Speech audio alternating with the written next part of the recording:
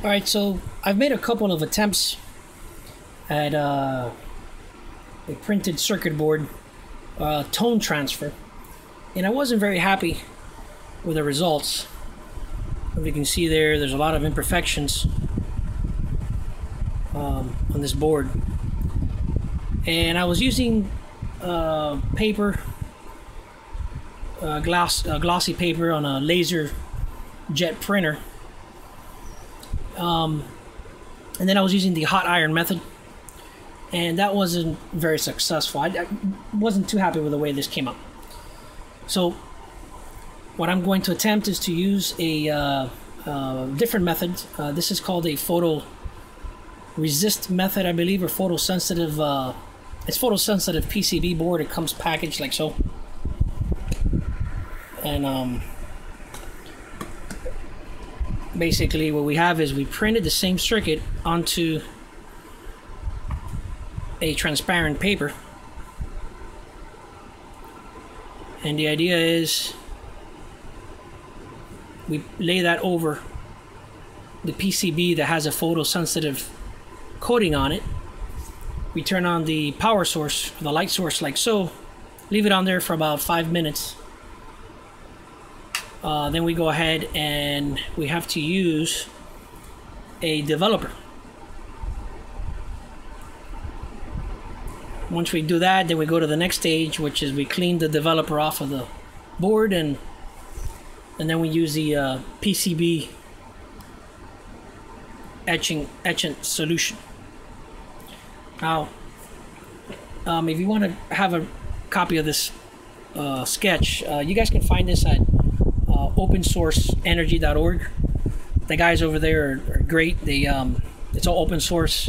This is a replica for uh, Stan Meyer's uh, pulse generator, and it's neat because you can download the uh, the drawings onto the program, and basically you can add to it.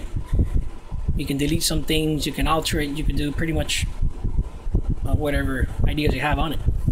So I like to um, try and see if uh, we can make this work and get a little better than this last attempt. You see all the imperfections in there.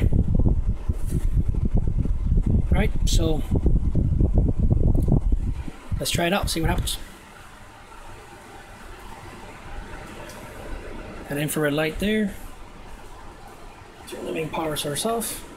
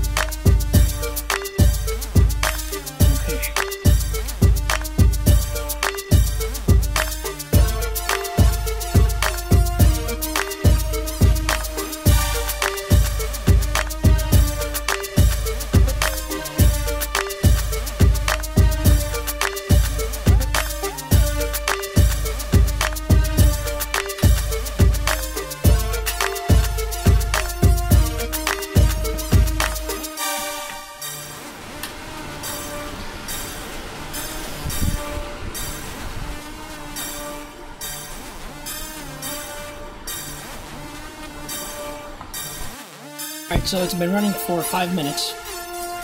Went ahead and, uh, according to the instructions on the developer, it's uh, one part diluted developer with 10 parts of cold water. So I went ahead and did that using this thing. So we're going to go ahead and pour that on there.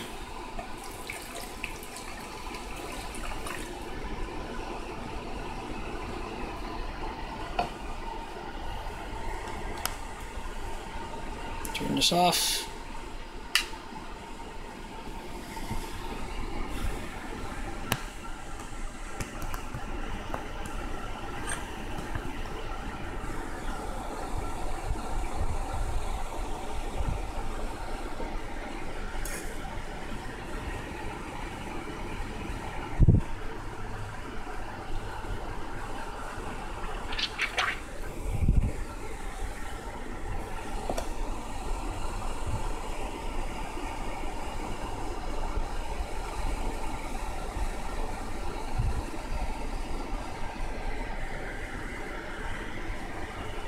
Got that.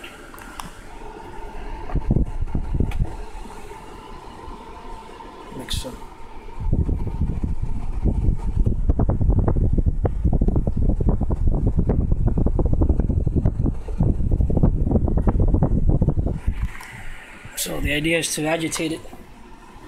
You can start seeing a little bit of the. Wow, I'm liking it already.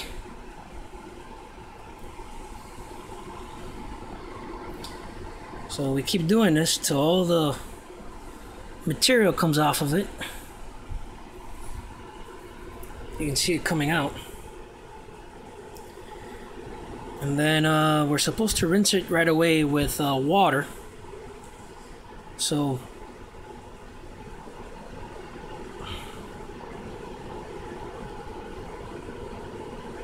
I will do that and get back to you.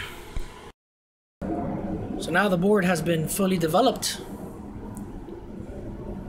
This process is a lot nicer, a lot cleaner. Sharp edges. A little bit more professional. So now we're going to go ahead and etch the board. So we got the etching solution in the tray.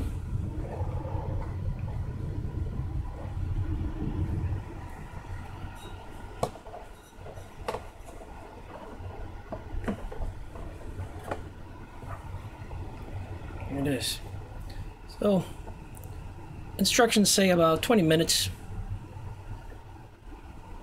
Every once in a while, I'll come back and swash it.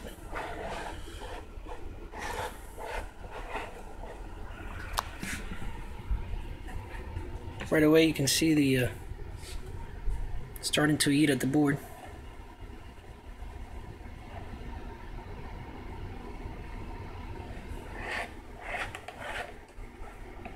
Yep.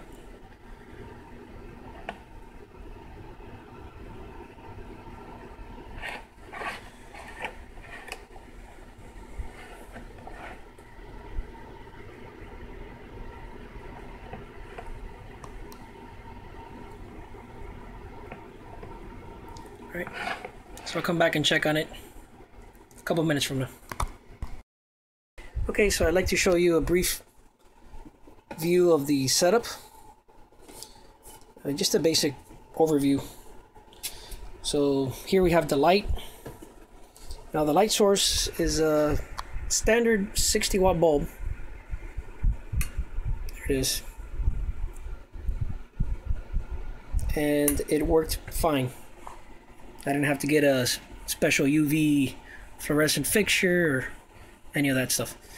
The uh, picture frame is very handy because you can use the glass to hold down the transparent paper and uh, well the transparent paper is where we would print using the computer our circuit design uh, I find this method of uh, light uh, a lot more efficient and uh, easier than the uh, other method that I used before that's the um, using a hot iron uh, I guess they call it uh, heat toner transfer if I'm not mistaken Um, what's the difference? Well, the difference, you can see it here. This is the old method. You can see a lot of imperfections in there. And this is the new method using using this uh, light source method. So basically what you need, uh, the only difference is you're gonna need something like this. Uh, find these online. Unfortunately, Radio Shack doesn't carry this kind of stuff anymore. I remember back in the days when I was in high school, you can actually buy this uh, boards that are pre-sensitized. Uh, it's not the case anymore. So a quick Google search will yield a good amount of results on this that you can purchase. So it comes in this this bag that's protected from light. So once you're ready to expose this, uh, I was working pretty much in the dark and using uh, infrared light, and that worked out fine. I could see what I was doing, and uh, I was able to place all the stuff here. so once that happened, we turned the light on. The light I, I left it on for um, how long did I leave it on? I left it on for eight minutes, and it developed. It, it did the transfer fine. You, once you take it out, you can't see it physically on the board, but once you put it in the development solution, uh, it starts coming out. Now, so this is what I use, Positive Developer. Now, a word of caution. I went through uh, one board uh, before I figured out how to use this. So this uh, they recommend uh, dilute one part the developer with 10 parts of cold water. so I went ahead and did that. When you put the board in there, you got to keep an eye on your board.